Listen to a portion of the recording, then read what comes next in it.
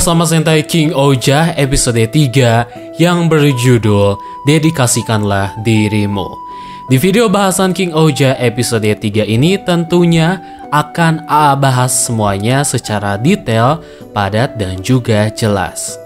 Episode 3 kali ini berfokus kepada cerita karakter Himenoran Eke Kamakiri Oja yang merupakan seorang ratu dari negara Ishabana. Sebuah negara yang sangatlah indah dengan bunga-bunga yang tumbuh di seluruh penjuru negara Ishabana. Sebelum kita bahas mengenai masalah episode 3 ini, A ingin membicarakan terlebih dahulu mengenai opening sequence dari Osama Sentai King Oja. Satu kata saja untuk opening Osama Sentai King Oja. Keren banget. Opening sequence yang dinyanyikan oleh Takayuki Furukawa yang berjudul Zenryoku King akan menjadi lagu yang paling A sukai di era Rewa Super Sentai ini. Acungi 10 jempol terhadap visual dari opening O sama Sentai King Oja yang dikemas dengan out of the box, unik dan keren banget. Permainan saturasi warna di setiap karakter atau member King Oja diperlihatkan sangatlah apik. Tracking tulisan kredit yang dikemas menyesuaikan scene-scene yang ada yang menambah kesan bahwa opening ini terasa mewah sekali. Pengemasan opening yang dibuat sinematik seperti sebuah film. Bagian art style dari para member King Oja yang dibuat dengan artistik dan keren banget di bagian ini. Bagian jumping para member yang luar biasa ikonik bagi AA. Opening King Oja sekali lagi menjadi opening Super Sentai paling niat, berbeda, dan juga favorit sejauh ini bagi A pribadi. Sekilas, vibe opening dari King Oja ini seperti sebuah opening anime.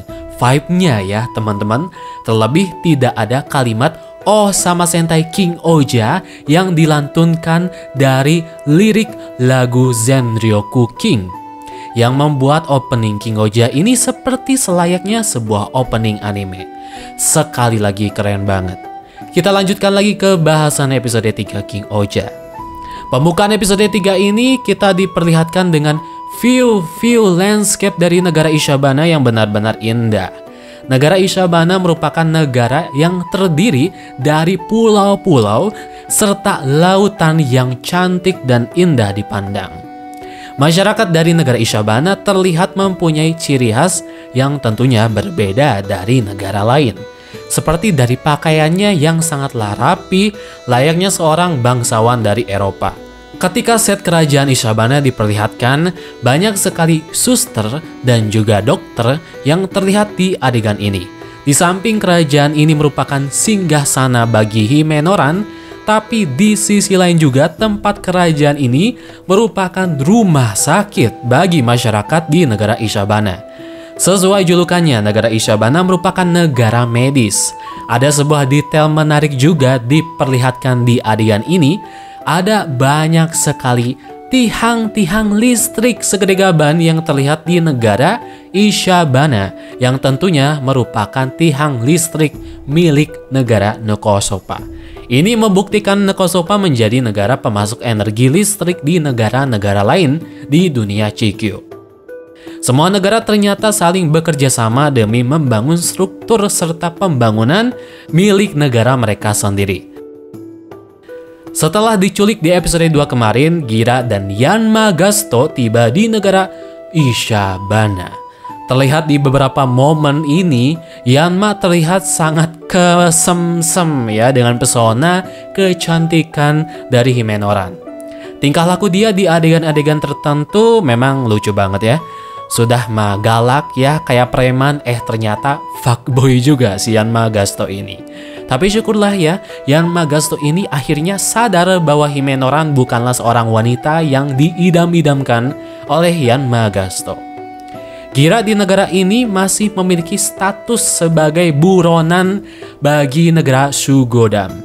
Dia di sini terlihat diikat atas perintah dari Himenoran dan juga di Borgol ya. Himenoran juga ternyata sangat tertarik sekali untuk memiliki Kuagon Eke Kuagata Sugar.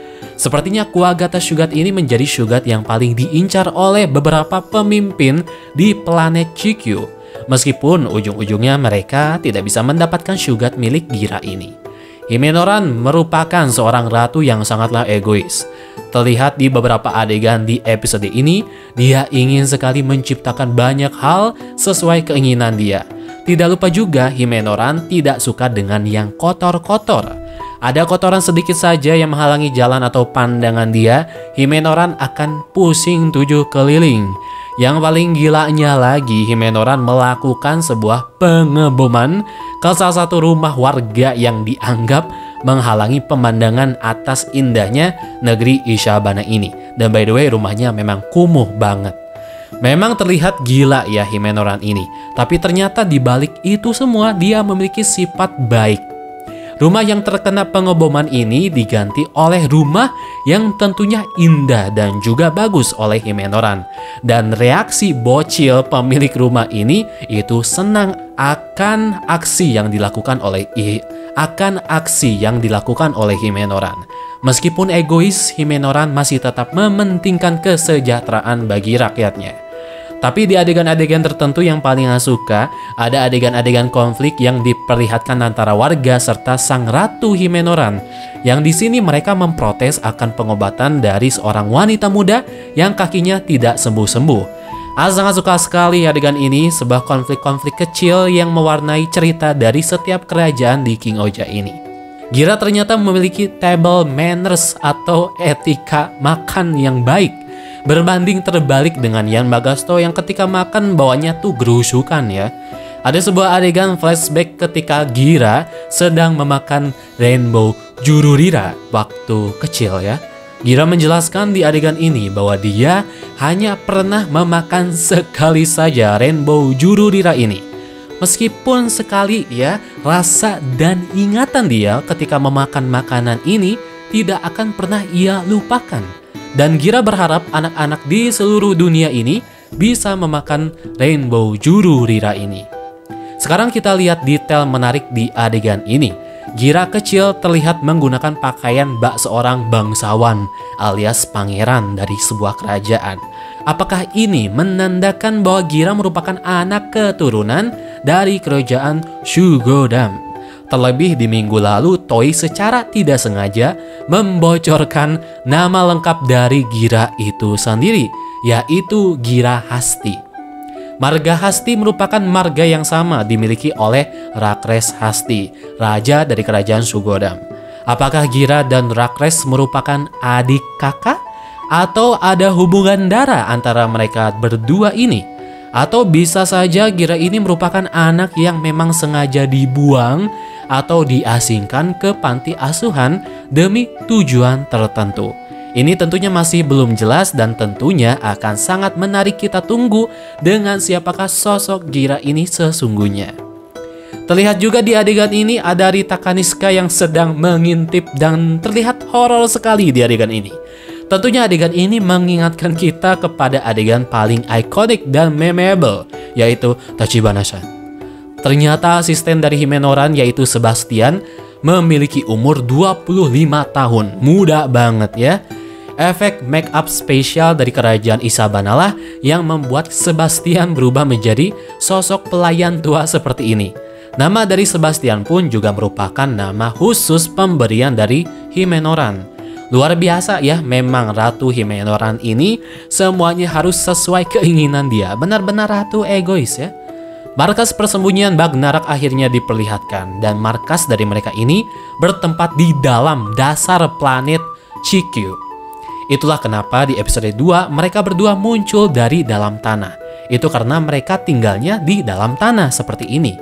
Sebuah adegan obrolan villain yang sudah khas lah ya kita lihat di franchise Super Sentai di adegan ini. Ada sebuah adegan yang menarik ketika King Desnarak VIII sedang menjelaskan tujuan dia untuk mendapatkan ketiga sugat legendaris.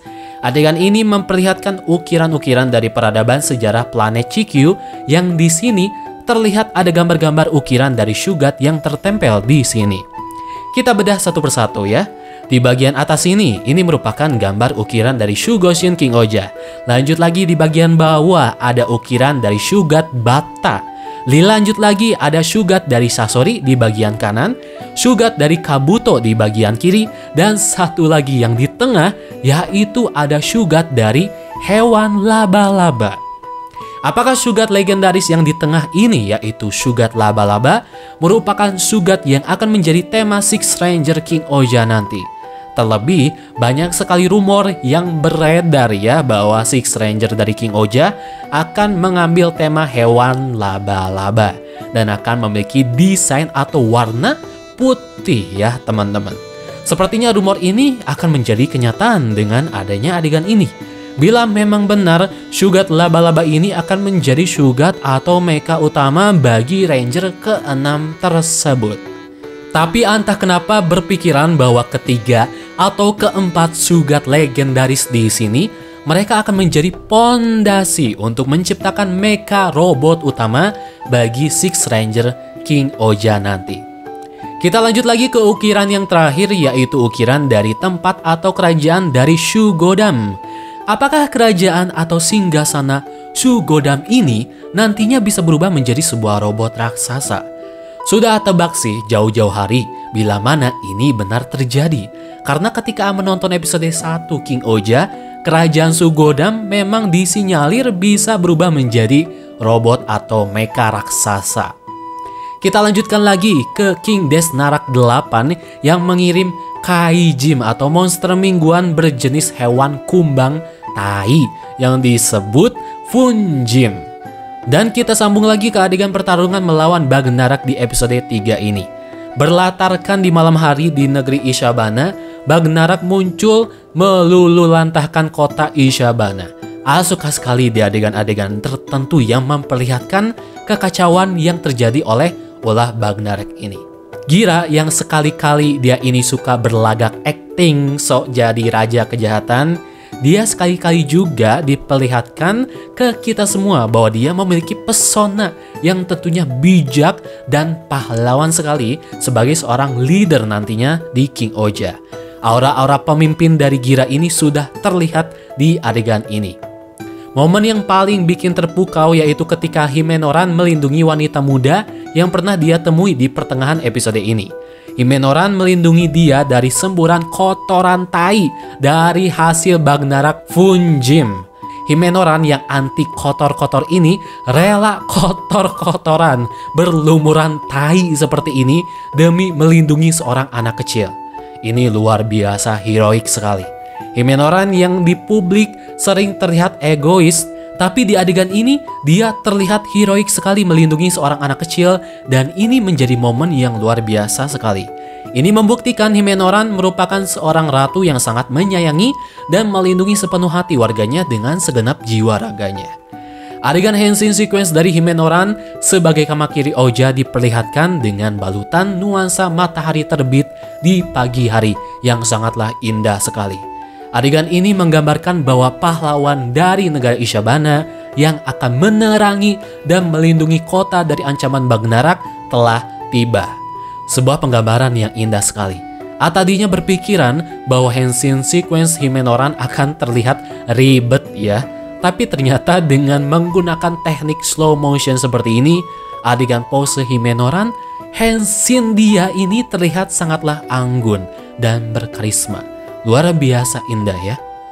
Kuagata Oja, Tombo Oja, dan Kamakiri Oja akhirnya bekerja sama membasmi Bagnarak dengan balutan-balutan sinematik yang tentunya ciamik di adegan ini. Adegan Gira melontarkan Omoshiroi sembari tertawa mengingatkan terhadap celetukan dari Don Momotaro ya di Don Brothers. Sama-sama raja dan sama-sama ranger merah yang sangatlah sableng ya. Kamakiri Oja akhirnya bergabung ke kokpit Sugoshin King Oja bersama Tombo Oja serta Kuagata Oja. Di pertarungan Mecha King Oja kali ini, lantunan lagu dari World Is Mine yang merupakan latar lagu bagi karakter Himenoran yang dinyanyikan oleh Machicho diputar di adegan ini. Guardian's Weapon yaitu Guardian Snail akhirnya digunakan di adegan ini. Kamakiri Oja terlihat tertawa seperti orang gila ya ketika menggunakan senjata siput yang satu ini. Bagi yang teman-teman belum tahu, Guardian Snail ini merupakan siput yang ada di kerajaan Sugodam. Siput ini ternyata dia pergi berkelana dari satu negara ke negara lain mengikuti jejak dari Kuagata Shugat. Dan ternyata siput ini merupakan bagian dari Kuagata Shugat. Kedua sugat ini ternyata tertidur bersama-sama selama ribuan tahun hingga akhirnya di episode pertama kedua sugat ini bisa terbebas dari tidur panjangnya. Di ending pertarungan Megazord ini, dengan ability dari Kamakiri Shugat, King Oja melakukan serangan jurus tendangan dari atas langit menuju darat. Dan tentunya adegan ini dikemas dengan keren banget. Gira akhirnya mengakui Himenoran sebagai sosok ratu yang memiliki kepribadian sangatlah egois, tetapi dengan kepribadiannya yang egois ini bisa mampu menyelamatkan warganya tersebut. Dan Gira pun di sini memutuskan untuk merekrut Himenoran sebagai nakama dia. Yang paling keren ternyata Himenoran memiliki outfitnya sendiri ketika dia berubah menjadi seorang dokter. Dan outfitnya beneran wow banget di mata ayah di adegan ini. Ternyata oh ternyata Ragi Debowski sedikit tunduk terhadap Raja Rakles. Terlebih di adegan ini, dia disuruh oleh Raja Rakles untuk membawa kembali Gira serta Kuagata Shugat. Debowski seperti yang kita tahu dia adalah seorang pemimpin yang sedikit manipulatif dan memiliki dua wajah. Bisa saja ya di adegan ini Kaburagi memang terlihat membantu Raja Rakles. Tapi tentunya di episode ke depannya dia akan berkhianat kepada Rakles dan memutuskan untuk membantu member King Oja demi menumbangkan kerajaan Sugodam alias Raja Rakles ini.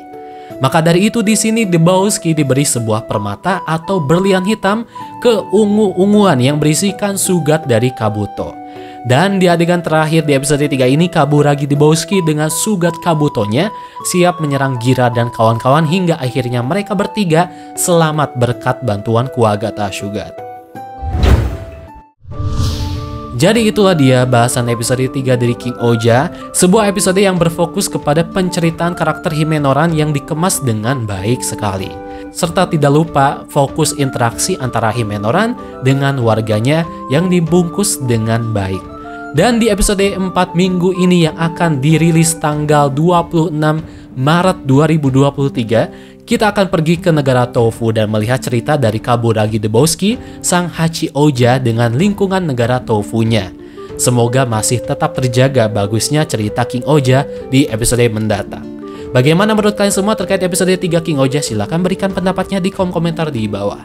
Baiklah kalau begitu, dicukupkan sekian video bahasan kali ini. Terima kasih yang sudah menonton. A pamit undur diri dan sampai jumpa di video selanjutnya.